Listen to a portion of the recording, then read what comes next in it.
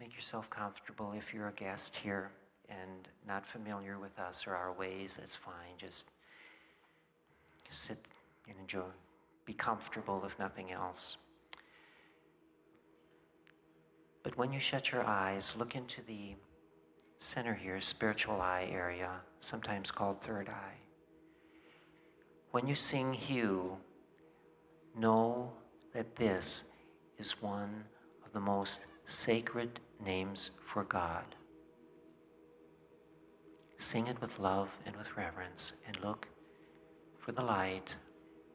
Listen for the sound. You may or may not have anything tonight. I'd be very surprised if you did. But just to show you how to practice it and do it on your own. It'll give you the spiritual insight that other people wish they had. But it doesn't come overnight. You have to develop this like any other skill. So let's begin with Hu. Hu